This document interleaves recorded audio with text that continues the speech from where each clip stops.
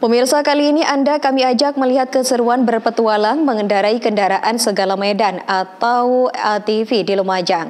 Pengunjung disuguhkan dengan medan yang menantang melewati jalan terjal di antara pepohonan yang memacu adrenalin. Bagaimana keseruannya? Berikut liputannya untuk Anda. Jika Anda ingin berwisata dengan suasana berbeda dan menantang, maka wahana tumpak selo di Desa Petahunan, Kecamatan Sumbersuka Lumajang bisa menjadi pilihan. Tempat ini menyuguhkan wahana berpetualang menggunakan kendaraan segala medan atau ATV dengan pengamanan atau alat pelindung diri yang telah disediakan. Memacu kendaraan ATV dengan medan yang menantang menyusuri hutan sengon dan kebun jeruk hingga memacu adrenalin para pengunjung. Di tempat ini Anda akan merasakan keseruan yang tiada tanding dengan udara sejuk perkebunan yang bisa memanjakan waktu luang Anda bersama kerabat dan keluarga tersayang Anda.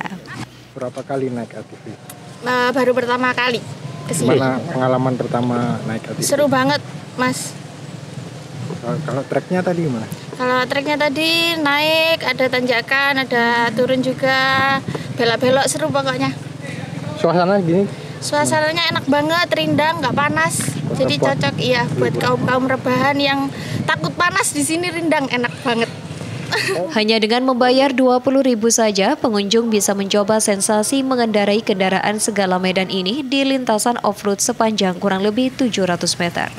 Lokasi wisata Tumpak Selo ini berada tak jauh dari pusat kota Lumajang atau sekitar 15 menit perjalanan. Yongki Nugroho, JTV.